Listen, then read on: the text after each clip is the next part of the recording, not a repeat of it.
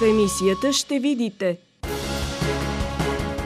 Бургас е първенец по санирани сгради в страната.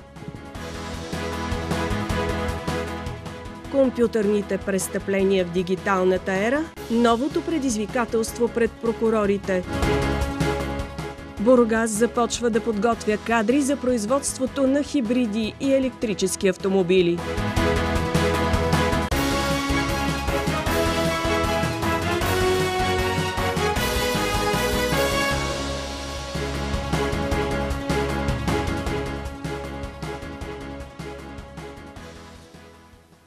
Добър вечер, ви гледате новините на телевизия канал 0. Аз съм Светлова Кирчева.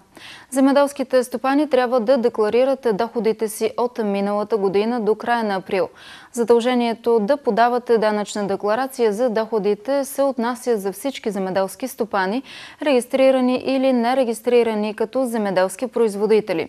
В декларациите, освен доходите от производство и продажба на земеделска продукция, се обявяват и субсидиите, получени от Държавен фонд земеделие. Земеделците могат да проверят точния размер на изплатените им суми през 2018 година на сайта на Държавен фонд земеделие. Електронната справка е достъпна с ЕГН. Инспектори на Комисията за регулиране на съобщенията, маскирани като клиенти, заловиха служители на А1 да пробутват на хората услуги, които не са поискали. При изключване на договора за някаква услуга, служителите дават за електронен подпис документ, без да дадат възможност да се види и прочете договора предварително. Това нарушение ще коства на мобилния оператор глоба от 10 000 лева потвърдена и от втората съдебна инстанция с окончателно решение. Проверката била извършена на 15 март в офис на А1. Мъж и жена, инспектори под прикритие се представили за клиенти и обяснили, че искат да сключат договор за пакетна услуга – телевизия и интернет. Служителката на оператора им помогнала да си изберат план, след което написала договора, но без да го покаже, приканила клиентите да го подпишат на електронно устройство с дисплей, на което се вижда единствено място за подпис. Мнимите клиенти подписали, но след това изискали договора и установили, че той предлага освен доставка на телевизия и интернет и на фиксирана телефонна услуга – каквато те изобщо не са искали. От регулатора издали наказателно постановление, което било обжалвано от мобилния оператор пред административния съд. То обаче е потвърдено, защото А1 и друг път са били санкционирани за същото нарушение. Сега глобата е от 10 000 лева.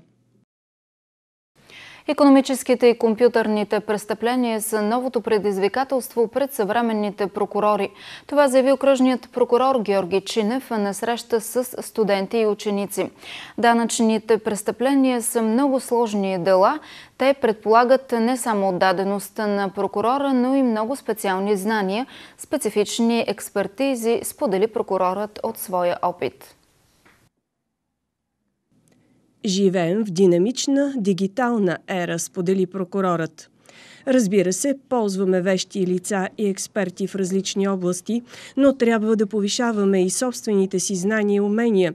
Разбира се, за да отговорим на една добре подготвена престъпност. Економически престъпления, както отново казвам, госпожа Челонова казва, данъчни престъпления, компютърни престъпления, те са много сложни и предполагат е, наистина ресурс.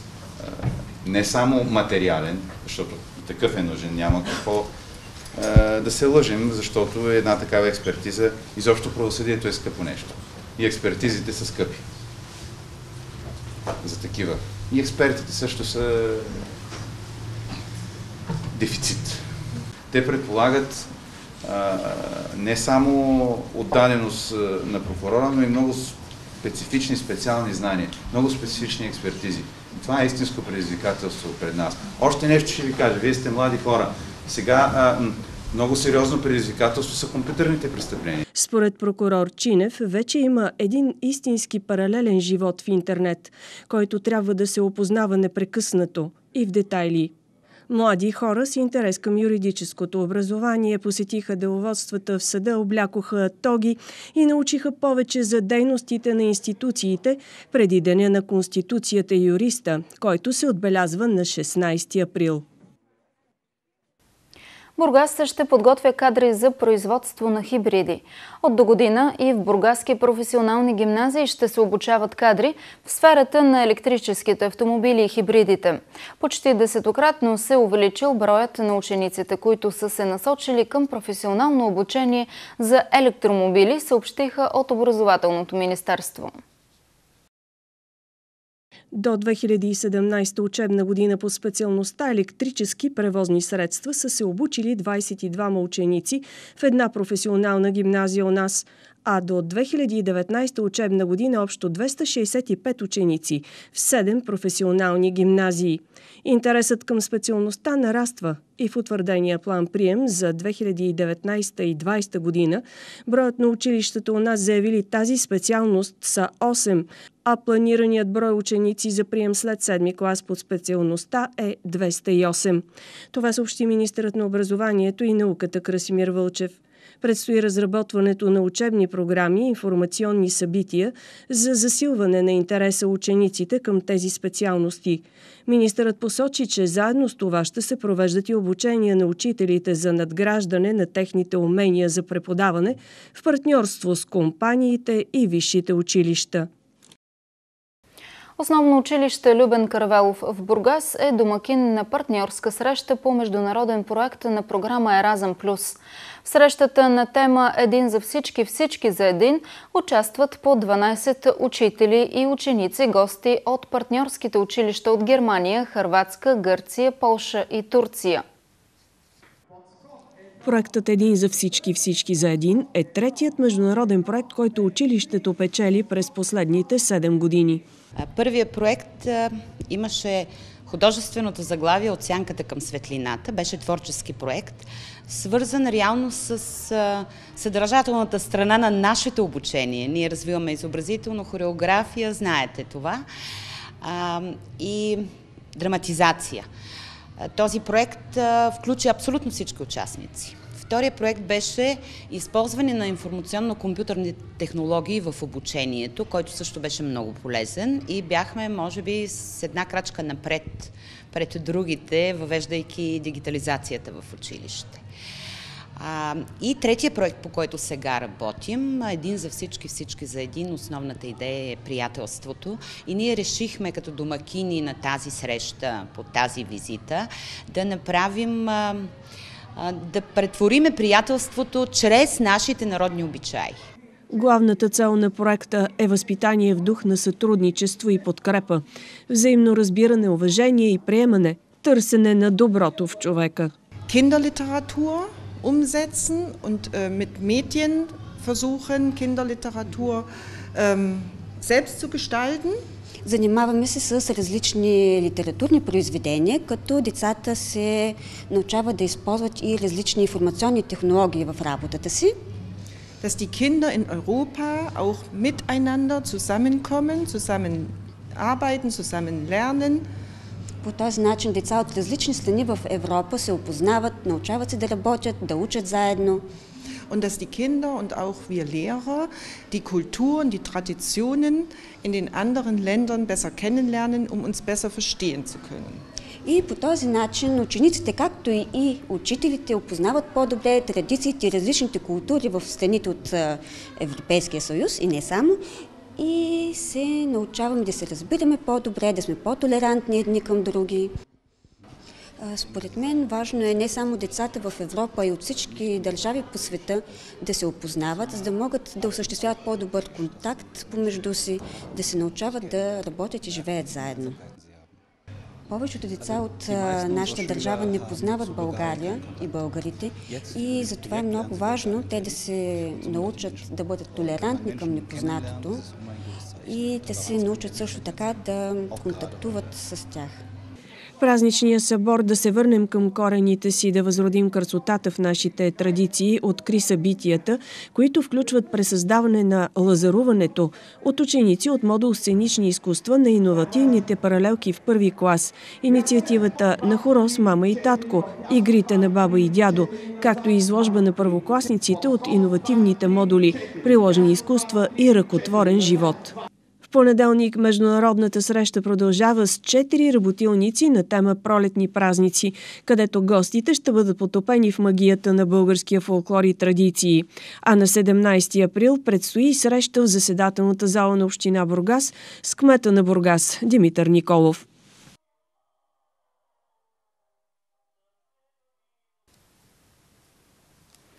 Бургас е на първо място в страната по санирани жилищни сгради. 1669 блока са санирани по Националната програма за енергийна ефективност от нейния старт до края на март тази година. Общо 2022 сгради в цялата страна имат сключени договори за целево финансиране с Българска банка за развитие. В момента се извършват строително-монтажни дейности по 138 сгради. В общините Бургас, Благоевград и Пазарджик са обновени всички жилищни блокове с сключени договори за целево финансиране. В Бургас завършените сгради са 205. Съвременната тенденция при санирането на сградите е да се осигури високо равнище на енергийна ефективност. Това се постига чрез добра изолация и уплътняване на дограмите и непроницаема изолация на стените. Така си осигуряваме защита на среда, топло през зимата и хладно през лятото при нисък разход на енергия. Оказва се обаче, че както винаги, удобството и комфортът крият неподозирани рискове за нашето здраве. Проблемът е, че до крайност се изолира човекът от достъпа до пресен въздух и кислород. Стайният въздух е наситен с въглероден двуокис и високо съдържание на влага, мухъл, конденс и други вещества – това са модерните вируси на дома и обществените пространства. Използваните до неотдавна дървени дограми се характеризираха с ниска степен на оплътняване, но добавяха необходимия пресен въздух с цената на висок енергиен разход за отопление и охлаждане. Съвременните дограми оплътняват добре, но са непроницаеми за външния въздух – Резултатът от всичко това е, че видимо сградите страдат с опорит конденс и мухъл, който поврежда облицовките, подовите настилки и дори мебелите, но най-лошото е, че създава болестотворна среда за самите нас, хората – Обитателите на нови ефективни по отношение на съхранението на енергията жилища са предразположени към здравословни проблеми, защото влагата, мухалът и замърсяването на въздуха са над допустимите норми. Добре проектираната вентилация ключов фактор за комфорта и енергийната ефективност, но и гаранция за добро здраве на обитателите на сградата – за да се осигури високо качество на въздуха, вентилацията трябва да е в постоянно движение – Вентилационните системи имат за цел да вкарат свеж въздух и да изведат от стаята застоялие. За сега обаче тези системи са твърде скъпи и недостъпни за обикновените хора и сгради. Какво ни остава? Нищо по-добро от навика да проветряваме редовно и по-често помещенията, в които живеем. Руският президент Владимир Путин заяви по време на посещението си в ракетния завод Енергомаш, че страната планира да инвестира 25 милиарда рубли или около 390 милиона долара в изграждането на нов национален космически център. Путин добави, че се очаква проектът да бъде завършен до 2022 година и е предвидено той да създаде над 20 000 нови работни места. Искаме и се надяваме, че ще изглежда авангарден, великолепен великолепен и достоен за индустрията. Освен това, нашите научни и образователни ресурси ще бъдат концентрирани там, заяви руският президент. Франция остава най-посещаваната от туриста и страна в света. Нито пожарените магазини, нито сълзотворния газ на Шанзелизе по време на продължаващите с месеци протести на жълтите жилетки успяха да отнемат на Франция титлата най-предпочитана дестинация в света. Въпреки политическата нестабилност, през миналата година 2018 беше благотворна за туристическия сектор на Франция. Според Френския национален статистически институт, броят на нощувките в хотели в цялата страна, къмпингите и хостелите е достигнал рекордните 440 милиона през 2018 година. Това е повишение с цели 9 милиона души спрямо посетилите Франция предходната година. Данните, разбира се, не включват нощувките, запазени чрез платформи за споделено настаняване – Впечатляващият ръст е отчетен в година, белязано от мащабно национално социално недоволство и протести, включително двумесечна стачка между април и юни на служителите в Националния железопътен превозвач и все още не стихващите протести на движението «Жълтите жилетки», което започна през ноември миналата година като протест срещу високите цени на горивата, високите разходи за живот и данъчните реформи във Франция – през декември заради прерасналите в сблъсъци и бунтове демонстрации на жълтите жилетки, броят на туристите съвсем леко намаля, но само с 1%. Само в Париж броят на посетителите е паднал рязко с 5 на 100 за същия период. Сред най-посещаваните туристически атракции във френската столица обаче остават катедралата Нотр-Дам и музеят Лувър, както и дворецът Версай – Забелязва се, че засиленият интерес идва най-вече благодарение на туристи извън Европейския съюз. Посещенията от САЩ са скочили с над 16%, а туристите от Япония са отчели с ръст почти 20 на 100. Бургас е домакин на 14-то поред държавно първенство за деца, юноши и девойки от 5 до 14 годишна възраст включително. Турнирът се провежда в зала Бойчо Бранзов по инициатива на международната карате организация Киоко Шинкай, която го реализира чрез ИКО България и Община Бургас. Съорганизатор е клубът на световната шампионка на ката Гиргана Апостолова, клуб Киокошин Спирит Бургас. Благодаря на всички и успех! Престижният турнир бе открит лично от кмета на общината Димитър Николов. Благодарение на наложената спортна традиция от страна на общината и успехите, които постигат каратеките на клуба в национален и световен мащаб, домакинството на Бургас се превърна в традиция и отличен пример за подражание не само на подрастващите, но и всички ценители на спорта. 192 състезателя са на това първенство от 4 до 13 години. Интересното е, че също така за първи път имаме категория при 4 годишните, което ще бъде доста хубаво да го наблюдаваме, тъй като децата са малки, но по край на краища имат желание да победат. Имаме ветата мита, където може би за около 3 часа ще свърши цялото първенство. Боевете, 32 категории имаме, т.е. 32 първи места, 32 втори места, 32 трети места. При огромен интерес и препълнена зала Бойчо Бранзов турнирът започна с масово загряване на състезателите, след което, спазвайки всички ритуали и традиции на задължителните инструктажи и гонг, стартираха индивидуалните срещи в различните възрастови групи. Смятам, че със всяка година нивото се повишава.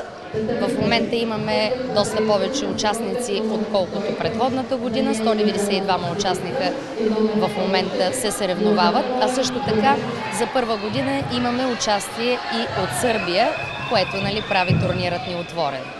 За най-добрите от организаторите са осигурили купи и атрактивни награди, а за всички останали участници остава надеждата и амбицията – да победят следващия път, тъй като Сенсей Гергана Апостолова, световна шампионка по катан, неведнъж казва, че учи своите възпитаници първо на това да се научат да губят.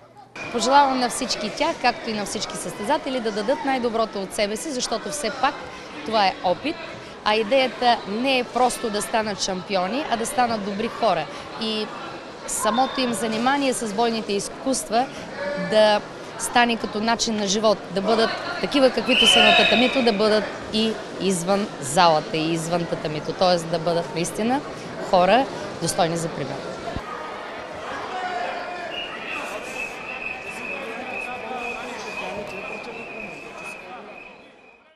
Така се разделяме. Приятна и спокойна вечер с програмата на канал 0.